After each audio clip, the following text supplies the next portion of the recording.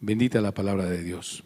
Pues estamos en una serie muy sencilla que se llama Por recompensa o por justicia, ¿no? Que es ni más ni menos de lo que habla el capítulo 6. Yo le he querido poner un título simplemente y hacerlo como una serie, este capítulo 6. Porque después del versículo 1, el cual me encanta que nos estemos aprendiendo de memoria, guardaos de hacer vuestra justicia delante de los hombres para ser vistos de ellos. De otra manera no tendréis recompensa de vuestro Padre que está en los cielos. Qué versículo tan hermoso. Pudiera no parecer un versículo muy sublime o muy apetecible por nosotros que vivimos en la carne, aunque no militamos en la carne. Sin embargo, es un maravilloso versículo que me recuerda todos los días el propósito por el cual respiro, bro. El propósito por el cual existo. El propósito por el cual desarrollo mi relación con mi esposa como matrimonio y le echamos ganas a pesar de nuestras carnes, ¿no? Y que es establecer su justicia. Para eso vivimos, bro. Gracias a Dios por este sermón del monte. Corrijo algo que dije hace un segundo, hace un momento que hablé. Eh, esta bendición que no añade tristeza está en Proverbios 10, 22, no en Proverbios 20. Estaba yo medio este, perdido para que lo apunte. Yo sé que es un hermoso versículo, que la bendición de Dios es la que enriquece y no ya de tristeza con ella, por Proverbios 10, 22. Y, lo, lo, recuerdo porque ese es el propósito de toda bendición, toda bienaventuranza que ha sido derramada sobre nuestras vidas, tiene el propósito de que siendo sus hijos ya por la bienaventuranza, tengamos el gozo de establecer su justicia en la tierra. Sí, entendemos este concepto, ¿verdad? No estamos aquí para hacer dinero en este planeta. No estamos aquí para desarrollar relaciones humanas fundamentalmente, aunque son maravillosas en Él. Cuando estás bajo el propósito de Dios de establecer su justicia, todo lo demás es diferente, todo lo demás es una añadidura que disfrutamos.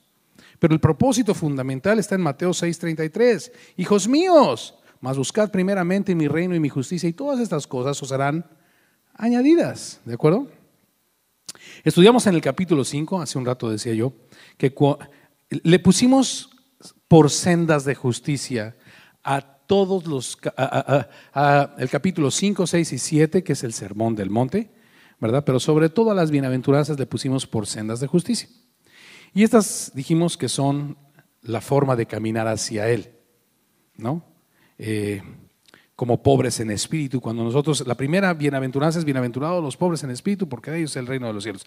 La manera de caminar hacia Él para ser hallado en Él, no teniendo nuestra justicia, sino la justicia que es de Dios, que la manera de caminar hacia Dios correcta para ser justificados en Cristo es como pobres en espíritu. Hacia Dios no puedes caminar. Dios no recibe a nadie en su propia justicia. O caminar, Señor, es que yo me merezco caminar hacia ti porque soy católico, o porque soy evangélico, porque soy bautista, o porque soy semilloso, o cualquier cosa. O porque hago este o este rito. La única manera correcta que Jesús nos enseñó en el capítulo 5, versículos 3, creo que yo es, creo que es el 3, es Bienaventurados los pobres en espíritu. La única manera correcta de caminar hacia el Señor es sin nada que ofrecer, simplemente como una persona que reconoce su devastadora incapacidad de agradar a un Dios santo y justo. No por religiones, no por obras de caridad, no por dádivas, no por diezmos, no por virtudes, no por linajes, no por sangre especial, no por religión especial, no por etnia especial, sino Dios recibe a los pobres en espíritu. Pero ahora que entramos en el capítulo 6, que ya nos ha dado su bienaventuranza, que ya nos ha participado de su naturaleza divina, ahora es muy diferente. Ahora dice el capítulo 6, versículo 1. Guardaos de hacer vuestra justicia delante de los hombres para ser vistos de ellos, de otra manera no tendréis recompensa de vuestro Padre que está en los cielos. Cuando pues des limosna. Ahora el Señor no nos dice, así que da el Señor ya ahora entiende que su espíritu producirá en nosotros el deseo de reflejar su paternidad generosa dando. Así que no nos va a enseñar, no nos va a empujar a dar, no nos va a convencer, no nos tiene que hacer manita de puerco para que demos. Así que cuando des, Él se da cuenta que ahora esto va a ser una eh, resultante de su espíritu en nosotros operando. Pero lo que está haciendo es enseñándonos a caminar, el cómo no a caminar ahora hacia Él, sino a caminar en Él. ¿De acuerdo? Así que Ya está nuestra nueva naturaleza, vamos a ser generosos como Él. Ahora Él quiere que aprendamos a dar. Y nos dice en el capítulo 2, retomando lo que estudiamos hace dos semanas, que cuando pues demos limosna, no hagamos tocar trompeta delante de nosotros como hacen los hipócritas, los simuladores, ¿no? En las sinagogas y en las calles para ser alabados por los hombres, de cierto te digo que ya tienen su recompensa. Y la recompensa es el reconocimiento de la gente que se deja llevar por su hipocresía. Mas cuando tú des limosna, no sepa tu izquierda lo que hace tu derecha. Esto no es posible porque la derecha y la izquierda están demasiado coordinadas. No es posible que mi izquierda no sepa lo que hace mi derecha. Lo que significa es no lleves la cuenta. No hagas tocar trompeta delante de los hombres y ni siquiera lleves la cuenta. Da y olvida. ¿No? De todo tipo de dádiva que salga, escúchame. Todo tipo de dádiva, sea limosna, sea ofrenda, sea diezmo, cualquier tipo de generosidad que Dios produce genuinamente en el corazón de sus hijos. Para empezar, Él ha puesto los recursos primero, ¿verdad? Y luego lo produce el querer dar, tiene que buscar su justicia, no nuestra justicia. No justificarnos de vivir una vida siniestra y luego llegar el domingo a la iglesia a querer justificarnos como una limosna o con una ofrenda. No, Dios no recibe ofrendas injustas.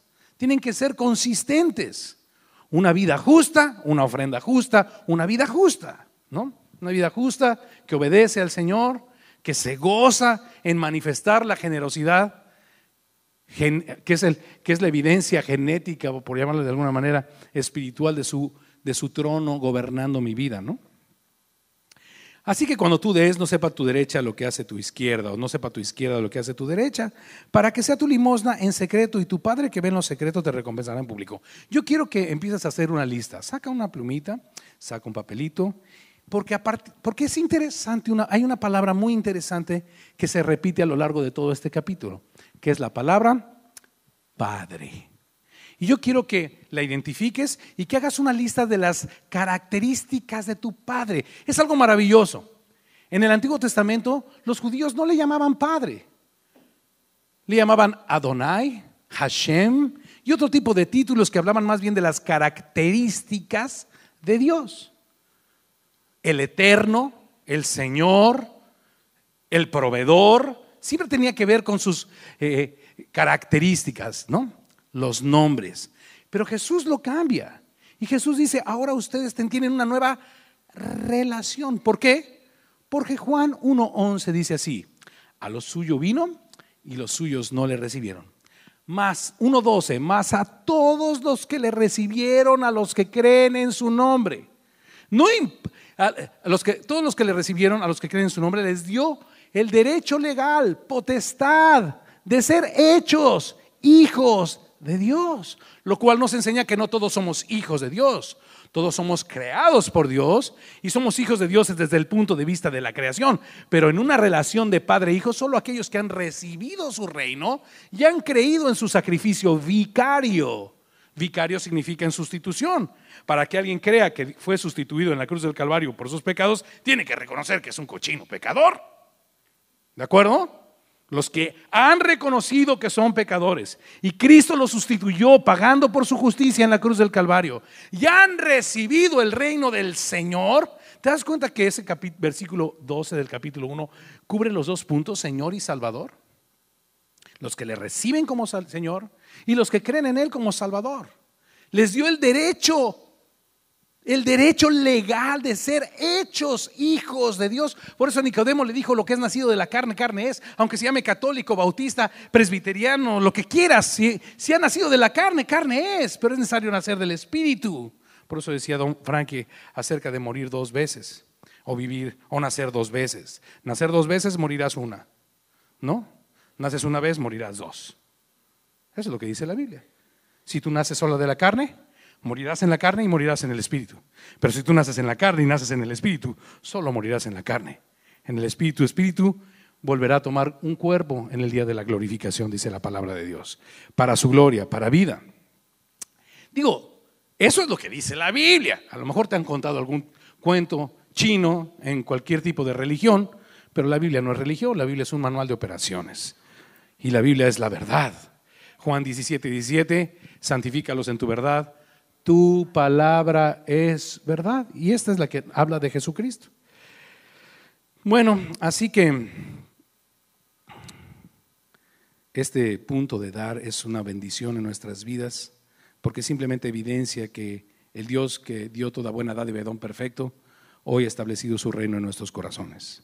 Ahora el Señor nos va a enseñar la segunda parte, aprender a orar. Pero antes vamos a hacer un poquito de la lista que hablamos. Padre, primeramente dice que nuestro Padre está en los cielos.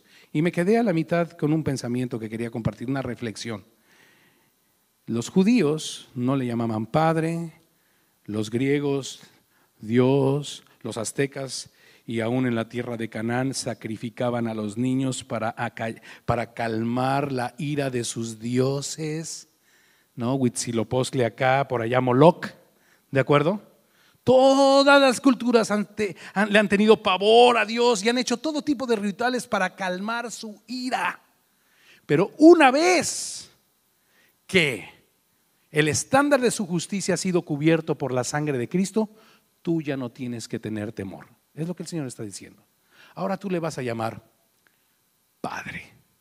Ahora tú puedes tener una nueva relación, no Dios, sino papá. Y quiero que sepas que quienes hemos sido comprados por la sangre de Cristo, hoy quiere Dios que nos enteremos que nuestro Padre está en los cielos, bro. Es con lo primero que empieza. La primera característica que eh, resalta Mateo, guiado por el Espíritu de Dios, en el capítulo 6, ¿no? Dice, de vuestro Padre que está en los cielos. Y esto nos habla de un Padre que tiene una perspectiva eterna, que tiene una perspectiva más alta que nuestros pensamientos. ¿Se acuerdan lo que nos habló eh, el pastor Daniel Friesel la semana pasada? Que como son los cielos más altos que la tierra, así son los pensamientos de Dios más altos que nuestros pensamientos. Que los pensamientos de Dios no tienen la naturaleza de nuestros pensamientos egoístas, hipócritas.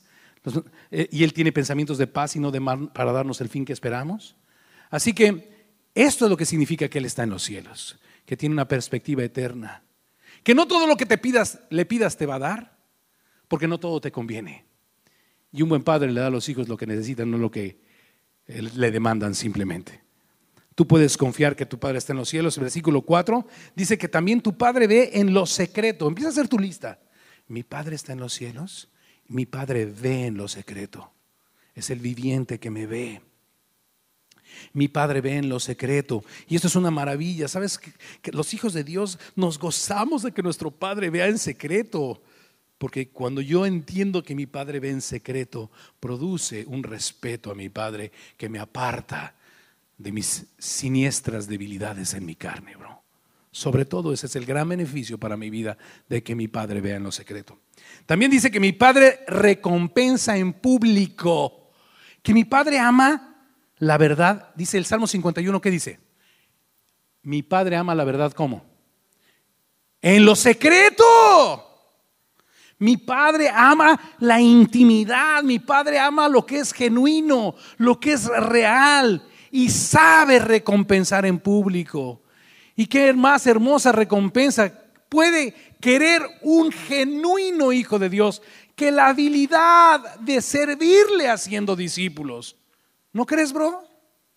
Que Dios nos dé la habilidad. Nosotros estudiamos hace dos semanas y vimos en el final de los tiempos, en Apocalipsis capítulo 22, cuál era el anhelo cumplido de los siervos de Dios, para los cuales Dios tiene el sustento del río del agua de la vida y el árbol de la vida que da doce frutos según cada estación y que cuyas hojas son para el sustento de las naciones y la sanidad de las naciones. ¿Cuál era? Habiendo quitado la maldición de nuestra incapacidad de agradarle en la carne, ahora el Señor nos permite servirle.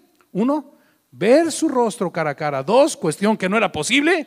Y número tres, en Apocalipsis capítulo 22, en el fin de los tiempos, versículos del 1 al 6. Y número tres, tener su mente en nuestras mentes, sin exentos de toda incapacidad de servirle.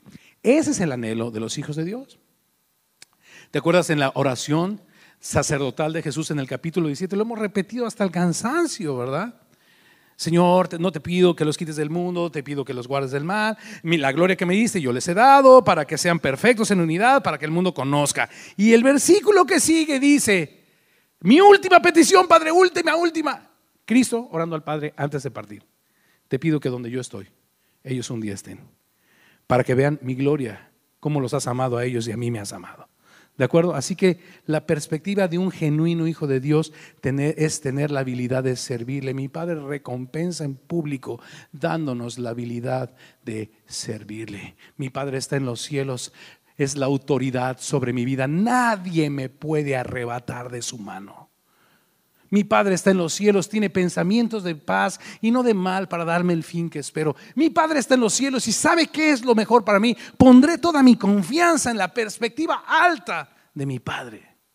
Mi Padre ve en lo secreto y me enseñará a respetarlo, pero no se olvida ninguna, de, de ninguna obra que Él produce en la intimidad. Él, mi Padre, recompensa en público y me da la habilidad para servirle públicamente, para ser discípulos, para predicar su maravilloso evangelio no solamente con mi boca, sino con mi vida, lo cual es más importante. Así que cuando ores, versículo 5, hoy vamos a estudiar la segunda parte, a ver hasta dónde llegamos. Versículo 5, aquí vamos a empezar. Estamos en la serie por recompensa o por justicia. Hoy que se ha permeado mucho la idea en nuestras iglesias de que le debo dar a Dios para que me dé, eso es por recompensa debo orar para recibir, eso es por recompensa. Ahora nos cambia el patrón de pensamiento del Señor en su palabra y nos guía por sendas de justicia, no de recompensa. Y nos enseña que el dar es un don con el cual nos permite a sus hijos establecer su justicia a través de los recursos que Dios nos da. El orar es una permisión, porque acuérdate que en el Antiguo Testamento solo el sumo sacerdote podía entrar al lugar santísimo una vez para ofrecer la sangre sobre el propiciatorio de los machos cabríos, una vez al año. Y este sumo sacerdote le tenían que poner un hilito con cascabeles, bro. Porque si el cuate no iba en su perfecto ritual y en perfecta conciencia a ofrecer sangre, la sangre de los machos cabríos para la expiación del pueblo, en el día de Yom Kippur o el día de la expiación, el cuate dejaban de sonar los cascabelitos y, y ni su madre se metía al lugar santísimo para sacarlo. Había que arrastrarlo con el hilito para afuera, porque ese lugar era intocable. Pero ahora entre el lugar santo y el lugar santísimo había un velo y cuando Cristo murió fue rasgado de arriba hacia abajo para que pudiéramos entrar confiadamente al trono de la gracia para recibir misericordia para el oportuno socorro o la oportuna provisión de Dios para llevar a cabo su propósito. ¿De acuerdo, bro? Así que la semana pasada vimos el don de dar, pero hoy vamos a ver el privilegio de orar. Espérame tantito, bro. El privilegio de orar, y es un privilegio que descuidamos tan comúnmente, ¿cierto? Hoy tenemos entrada franca por la sangre de Cristo y el cuerpo trasvasado, y hay veces descuidamos este lugar de tanto poder para recibir de Él el oportuno socorro que nos habilitará para establecer su justicia en este mundo. ¿Nos estamos entendiendo?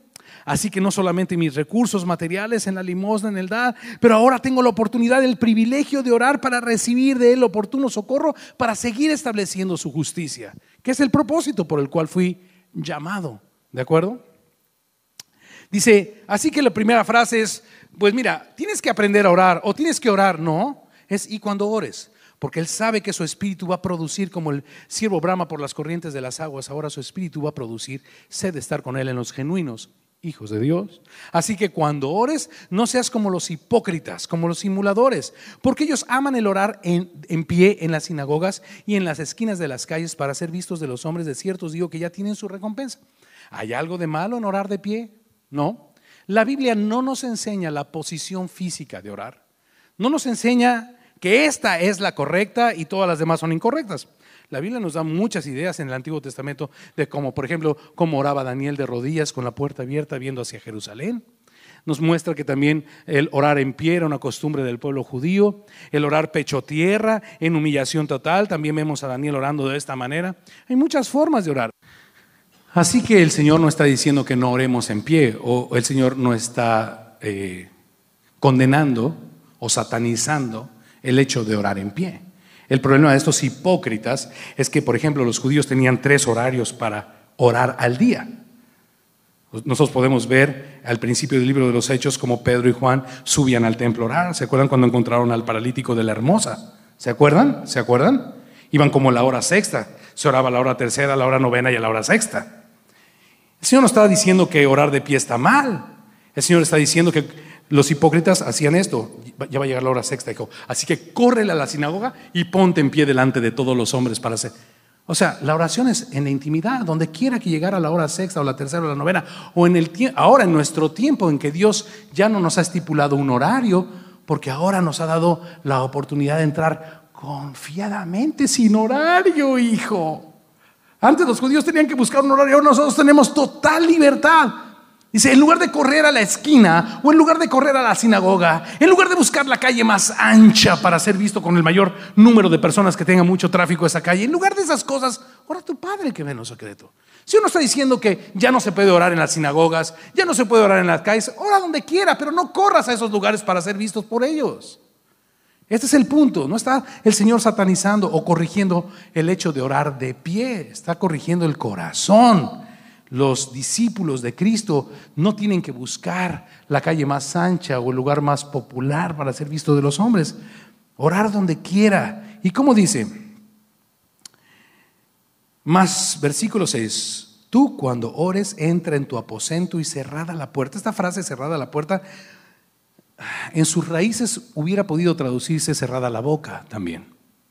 Y, pero no nos vamos a empezar a poner a pelear por eso puede ser cerrada la puerta, puede ser cerrada la boca. El énfasis de esta frase está en el secreto. La oración genuina que mueve al Señor es en lo secreto. ¿De acuerdo? Ahora déjeme decirle otra cosa. ¿Qué significa orar? Orar tiene, o sea, la relación de un hijo de Dios consta de dos partes. ¿Ok? La verdadera relación de un genuino hijo de Dios consta de dos partes. Leer la palabra de Dios es cuando Dios te habla. Orar es cuando tú respondes. Orar sin conocer la palabra de Dios es absurdo porque Primera de Juan 5:14 dice que solo cuando oramos conforme a su voluntad él nos oye. Y si no conoces la palabra de Dios, tú no conoces su voluntad, tú lo único que eres es un bárbaro que está orando como los gentiles sin saber a quién le oras, ni para qué, ni por qué oras. El Señor nos está instruyendo. Yo tengo primera de Juan 5:14, orar conforme a su voluntad. Para orar conforme a su voluntad tengo que conocer su palabra, bro. No hay oración más hermosa que la que una y otra vez está brotando de la escritura sembrada en tu corazón. No hay oración más segura de ser respondida que la que se alinea a la voluntad de Dios conforme a las escrituras. En Juan 7:37 Jesús en el último y gran día de la fiesta alzó su voz diciendo, si alguno tiene sed, venga a mí, beba. El que cree en mí como dice la escritura, no como dicen las tradiciones, no como dicen las religiones. El que cree en mí como dice la escritura, de su interior correrán ríos de agua viva. Así que mi relación consta de dos partes. Uno, recibo la instrucción de Dios. Dos, en la oración, escucha, en la oración alineo mi mente a la voluntad de Dios. La oración es simplemente la alineación voluntaria a la voluntad de Dios. Es el ceñirnos a la voluntad de Dios. ¿Entiendes? Eso es orar. Yo sé que el humanismo ha permeado nuestras iglesias y nos ha enseñado que Jesús es Santa Claus, así que hemos hecho de la oración una lista de peticiones. Fíjate lo que dice la palabra de Dios en el versículo oh, no 7. Así que terminando el 6, ora a tu Padre que ve en lo secreto. Le podemos ir sumando a nuestra lista. Mi Padre está en los cielos, mi Padre ve en lo secreto. Mi Padre recompensa en público, pero mi Padre está en secreto. No solamente ve, su presencia mora en el secreto. Hasta que entrando, Salmo 51, ¿cómo dice? Hasta que entrando en el santuario de Dios, Salmo 73, perdón, Salmo 73, hasta que entrando en el santuario de Dios entendí el fin de ellos. ¿Se acuerdan? El Señor ama la verdad en lo íntimo y en lo secreto me ha hecho conocer sabiduría, decía David en el Salmo 51. Creo yo que está en el Salmo 51, si no lo corregimos. Así que mi Padre no solamente ve, sino está en lo secreto. Su presencia está en lo secreto. Y luego también mi Padre vuelve a repetir, ve en lo secreto y recompensa en público. Versículo 7. Llorando, no uses vanas repeticiones como los gentiles que piensan que por su palabrería serán oídos. Jesús está hablando. Esta situación del rosario, que son repeticiones, cuentitas para repetir, repetir, repetir, como si Dios estuviera sordo, ¿te has dado cuenta que los budistas también lo hacen? ¿Te has dado cuenta que los musulmanes también lo hacen? ¿De dónde vino?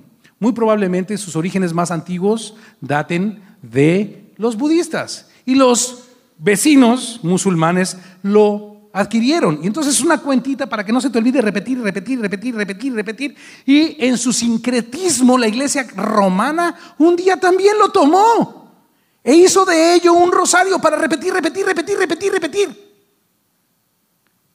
Tú te vas a dar cuenta en el versículo 9 que cuando Jesús dice, vosotros pues oraréis así, no está hablando, repite estas, eh, estas frases, sino ustedes orarán bajo este concepto lo que el Señor está buscando en los versículos anteriores es nuestro entendimiento, no ser hipócritas ni gentiles repitiendo cosas que creemos que por nuestra, nuestra palabrería seremos oídos. ¿Por qué se me salta la palabra barbaridad? Porque en el mundo griego todos los que no hablaban griego eran bárbaros. ¿No? Entonces, ¿por qué se les puso bárbaros, bro? Porque los griegos no entendían lo que decían. Para ellos sonaba todo bara, bara, bara, bara, bara, bara, bara, bara, bara. ¿Entiendes? ¿En serio?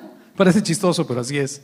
Por eso se les puso bárbaros, porque ellos lo único que oían era bara, bara, bara, bara. Y así es como hoy el Señor, hijo, cuando son repeticiones, bara, bara, bara. No se entiende nada, hijo.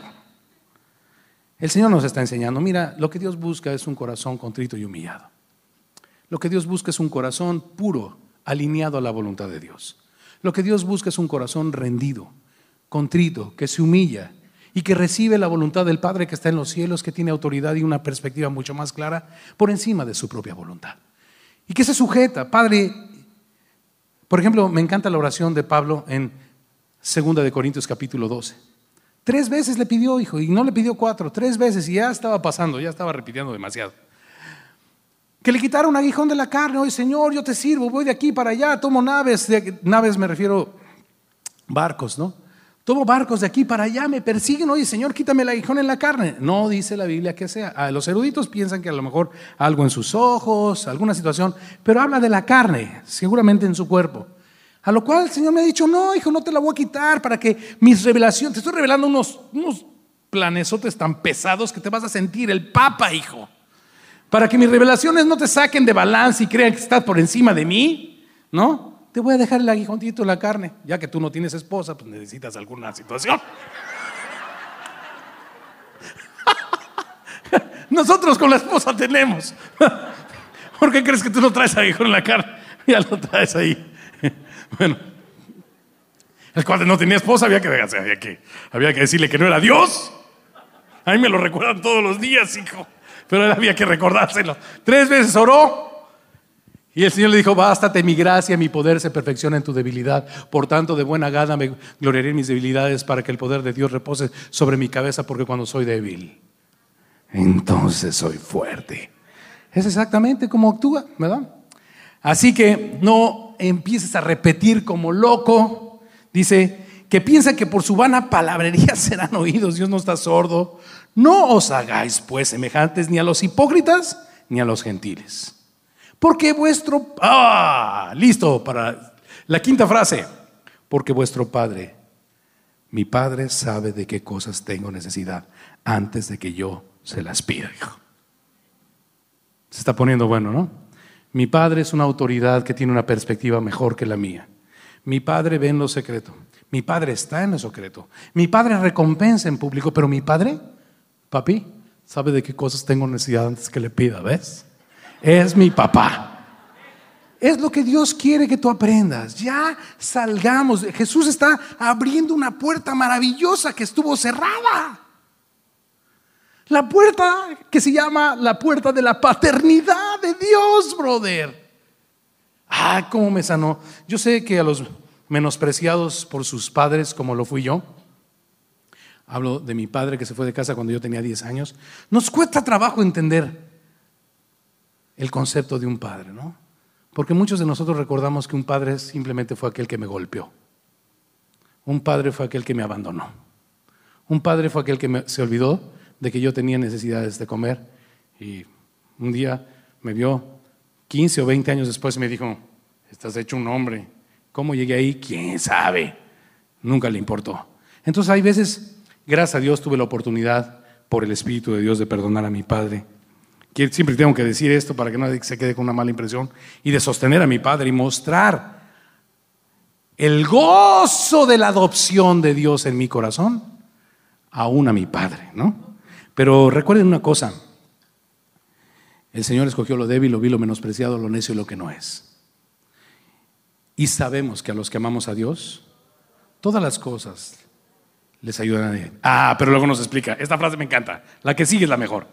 Esto es aquellos que conforme a su propósito fueron llamados. ¿Por qué amas a Dios? Porque Él te amó primero. Esto es los que hemos oído todas las cosas se ayudan y sabemos, y todas las cosas se ayudan a bien. Esto es, no corras, esto es a los que yo llamé. Me llaman, me aman porque yo les amé primero y yo los llamé. Y a estos que yo escogí, yo los amé primero, todas las cosas que les pasen les ayudan a bien. Cuando entendí esto, bro. Así que cuando mi padre se fue de casa me ayudó a bien, sí, maestro. Porque el hombre saciado desprecia el panal de miel. La gente que le va bien, eh, ¿qué se va a acordar de Dios? A ti quise contristarte.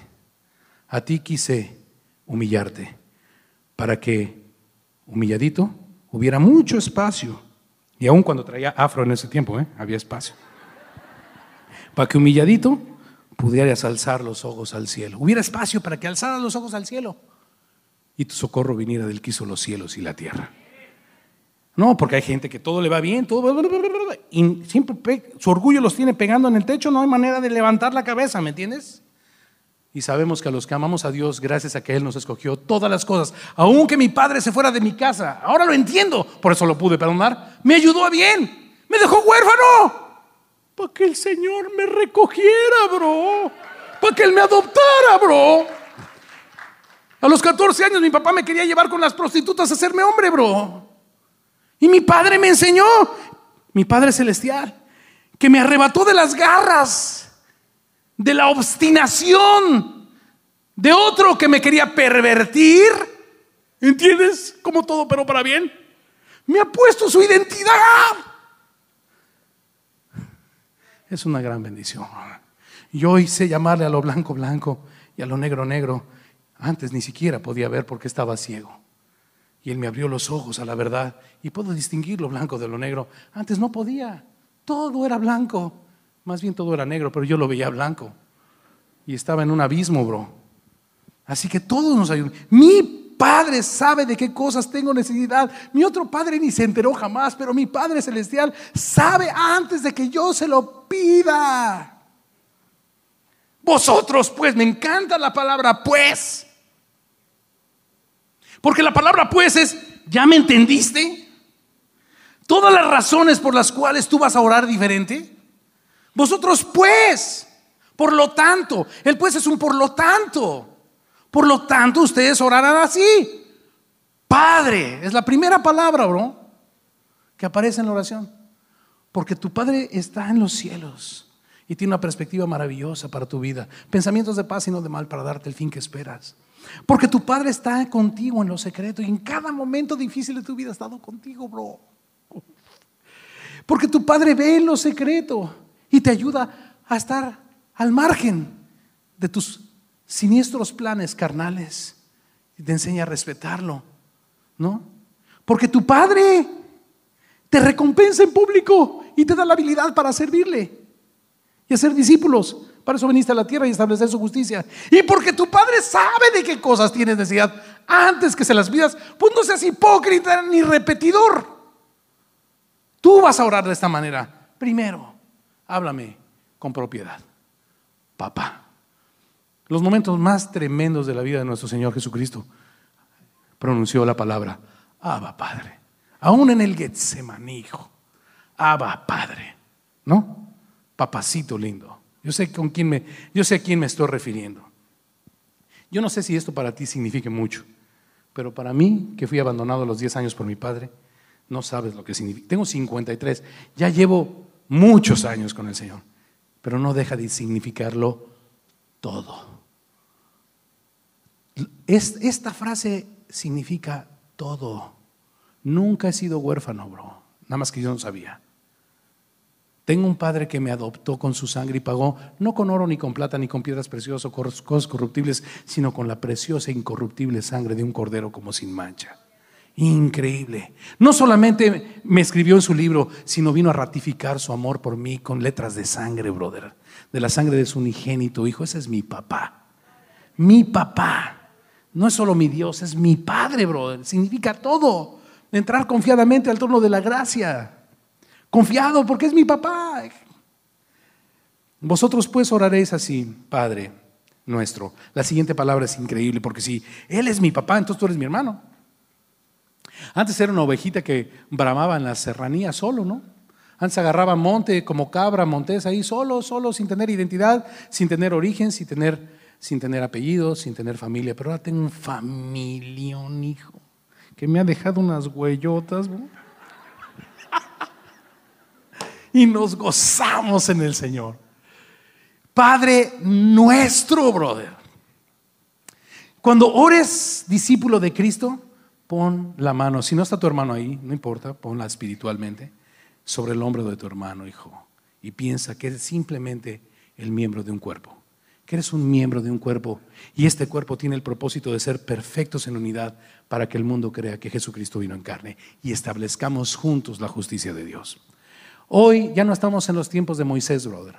Hoy el Señor ya no tiene un patriarca. Hoy el Señor ya no... Eh, Hebreos capítulo 1, Dios habiendo hablado a nuestros padres en otros tiempos por medio de los profetas, ahora nos ha hablado por el Hijo. Ahora Él es el Señor, la cabeza del cuerpo de Cristo, según Efesios capítulo 4. Él es la cabeza del cuerpo. Nosotros simplemente somos los miembros que conformamos el cuerpo de Cristo y ya no somos ovejas en la serranía o cabras.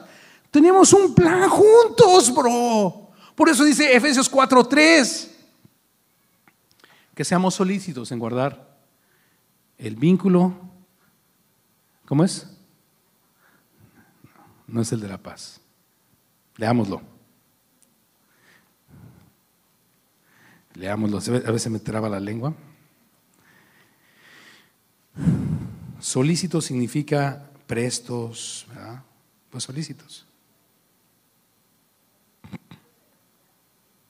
pilas, atentos. ¿Dónde dije? Efesios capítulo 4, versículo 3, dice, solícitos en guardar la unidad del Espíritu en el vínculo de la paz. La unidad del Espíritu y el Espíritu produce en nosotros el querer como el hacer por su buena voluntad de ser uno para que el mundo crea. Así que no solamente orarás, ya se acabó esa situación de, egoísmo, ¿no? Antes era yo solo, yo era Dios, por lo tanto, dame, dame, dame, dame. Padre nuestro, que estás en los cielos, nuevamente nos repite la situación de su autoridad, santificado sea tu nombre. Yo no quiero, no, no quiero seguir mucho más adelante. Quizá, ya que tengo 10 minutos, compartirles, compartirles simplemente un par de versículos para que se gocen en este hecho maravilloso del Padre. Aguánteme un segundito.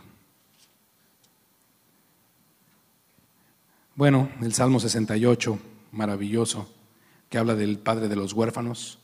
Bendito sea Dios, decía yo que me quedé huérfano porque el Señor tuvo chance de recogerme. Eh, Mateo 23, 9, hablando del concepto de este precioso de nuestro Padre. Y podemos compartir mucho, lo cual estará en sus hojitas seguramente esta semana.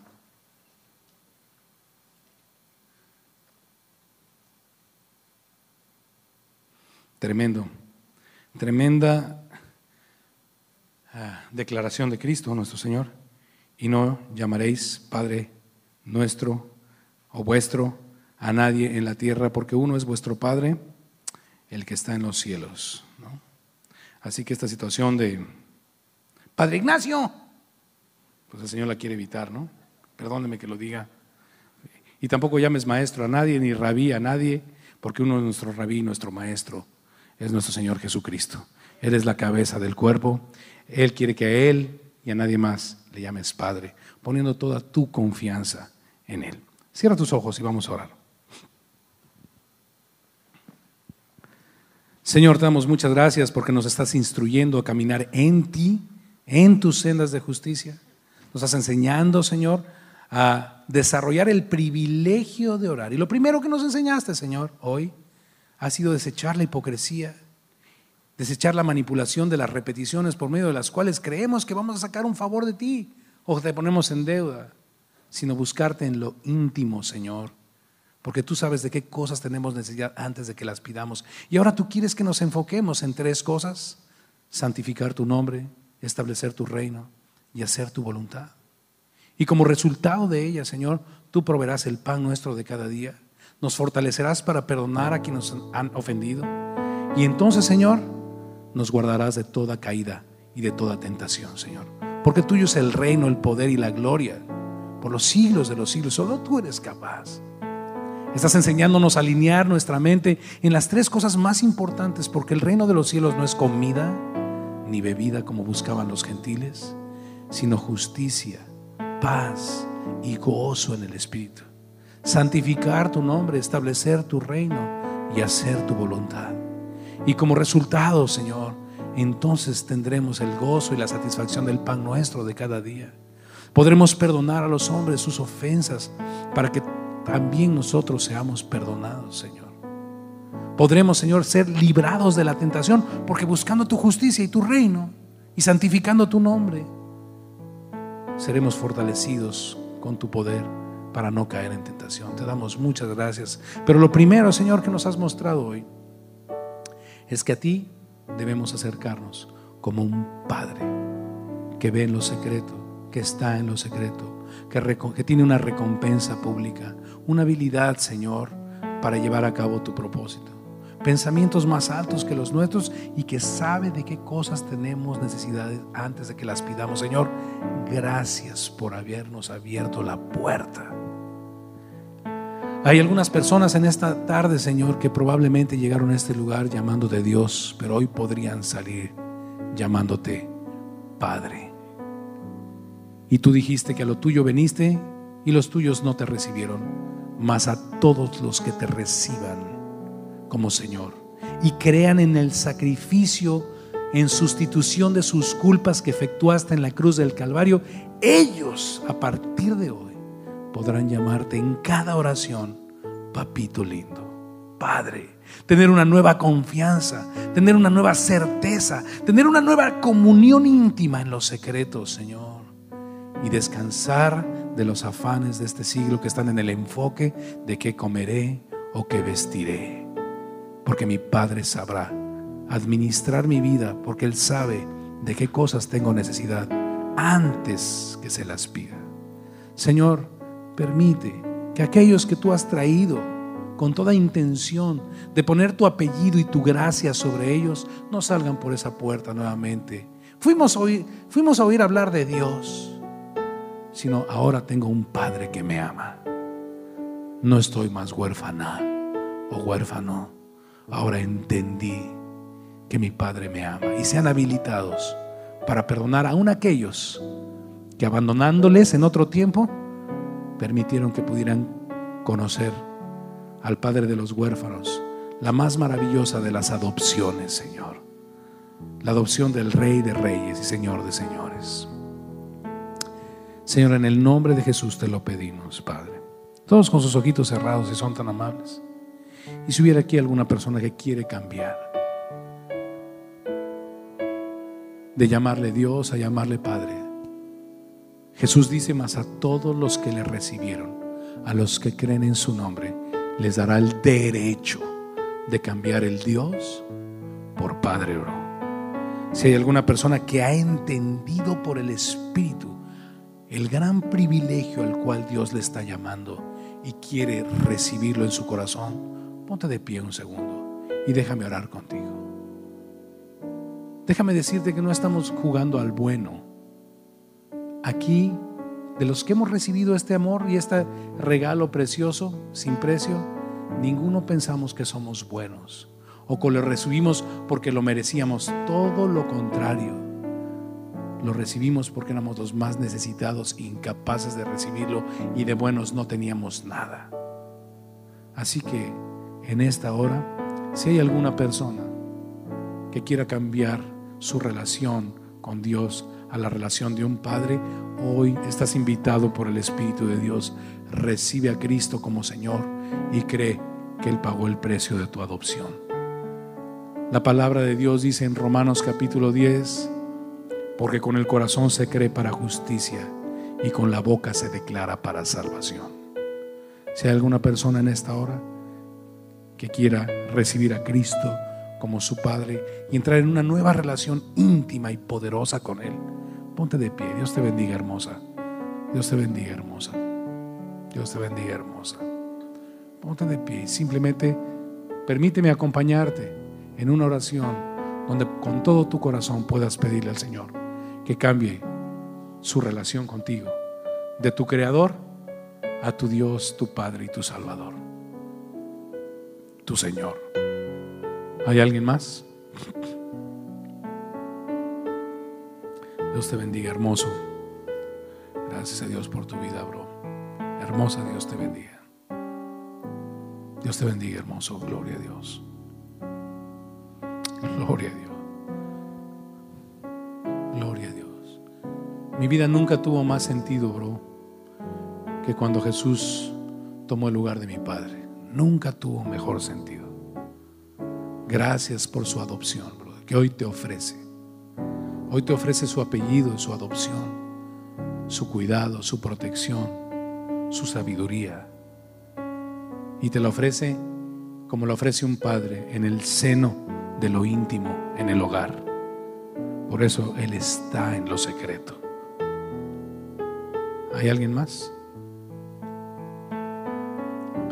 Tú que te pusiste de pie, simplemente dile, Señor Jesús, dile, Señor Jesús, en esta hora te abro la puerta de mi corazón, Señor, y te pido en, el, en tu nombre precioso que te conviertas en mi Padre. Porque yo creo que moriste por mí para pagar el precio de mi adopción con tu sangre. Adopción que hoy yo recibo por la fe, Señor. Señor, establece tu reino en mi corazón y guíame en tus caminos, en tu identidad. Toma mi mano como la de un hijo, una hija, y guíame, Señor, en tus caminos. Porque yo te entrego mi vida en esta hora. Señor, yo tomo tu mano y camino contigo en esta hora. En el nombre precioso de Jesús. Amén. Semilla, voltea a ver a tus hermanos. Dale un aplauso al Señor precioso. Aleluya. Bienvenidos a la familia, bro. Hoy son parte de el Padre nuestro, ¿no? Hoy son nuestros.